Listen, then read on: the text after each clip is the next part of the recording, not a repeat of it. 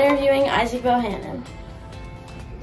Hey, I'm Isaac, and uh, I've been here for 11 years at St. Joseph, and I'm 15 years old. Where are you going to high school? Uh, Father Ryan. Go Irish. Okay, what has been your favorite memory from like all since you've been here? Um, it pro- pretty much be the the Gummy project in seventh grade that we did. It was uh, where we put in water and see how it expanded in different variations. Yeah, about osmosis. What was your favorite memory from this year? For eighth grade. Uh, this eighth grade year. Um, honestly, dodgeball. Um, with the coach Rucker. That was fun. Okay. What was your favorite part from about Utah? Um, cooking the food. It was pretty fun.